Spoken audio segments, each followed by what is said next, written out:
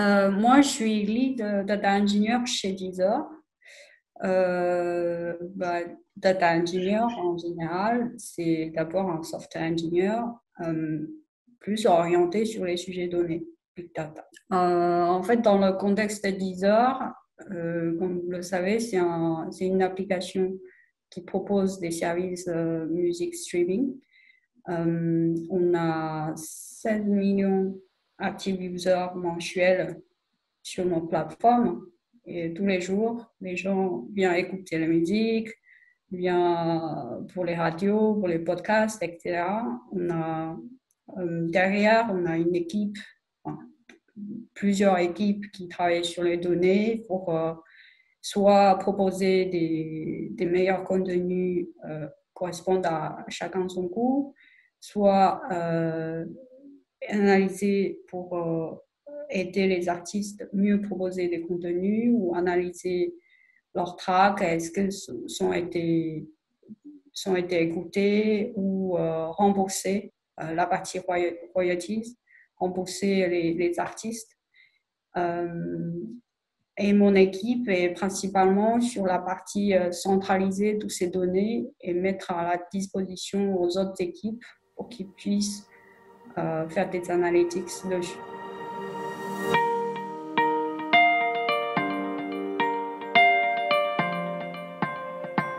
Je suis venue pour un programme euh, double diplôme en échange avec mon université euh, en Chine, à, à Télécom Paris.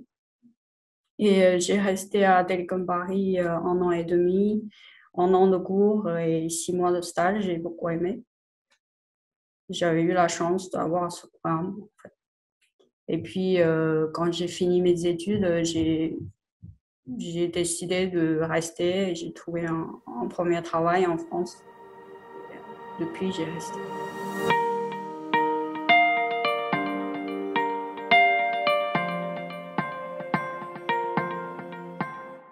Ça change beaucoup dans ce métier. On a toujours euh, beaucoup de problèmes et beaucoup de solutions autour euh, pour résoudre ces problèmes. Et euh, ces solutions peuvent être euh, des projets open source, des nouveaux outils. On a toujours des veilles et technologies à suivre, à comprendre, à apprendre.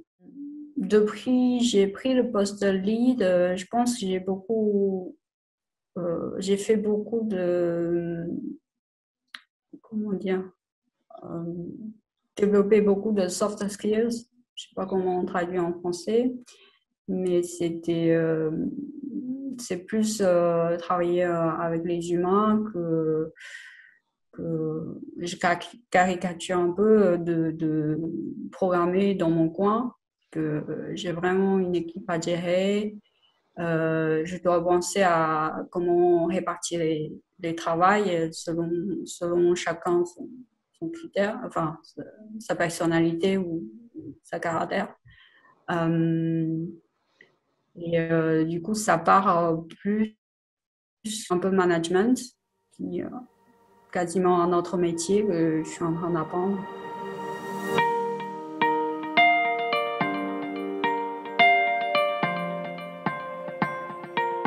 Je peux me faire assez souvent découragé ou démotivé. Euh, par exemple, à l'époque, à l'école, euh, je peux prendre la tête pour une fois de, de mauvaises notes ou alors euh, juste quelque chose qui, n'avance pas bien et que je suis frustrée. Je ne sais pas si c'est lié avec la nature de femme ou pas, mais j'ai pas pas envie que ça, je me disais jamais ça, mais j'ai pas envie d'amplifier le fait que je suis une femme et amplifier ce, ce feeling, cette émotion. En fait, j'aime pas justement de, de, se dire euh, parce que je suis une femme, euh, je peux faire telle chose ou je peux pas faire telle chose. C'est pas trop dans, mon, dans ma éducation non plus. En fait, j'étais enfant unique. Euh, enfin, ma génération sont tous à peu près enfants uniques. J'étais enfant unique dans ma famille et que euh, mes parents n'ont jamais donné ce genre de message parce que des, une fille ou une femme, tu peux pas faire telle chose, tel métier. donc pour moi, je pense ce côté l'éducation famille, ils m'ont beaucoup, beaucoup aidé.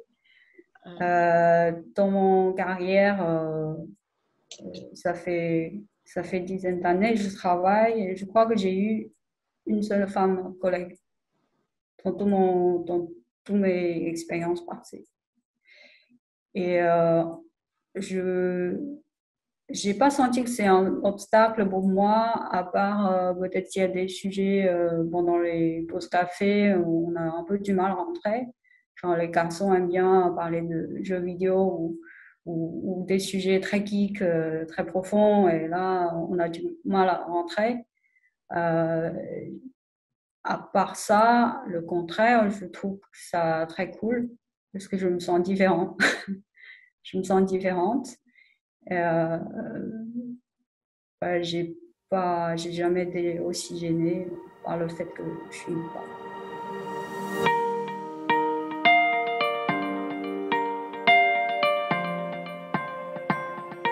il y a beaucoup d'évolutions dans le monde technique ou dans le monde général.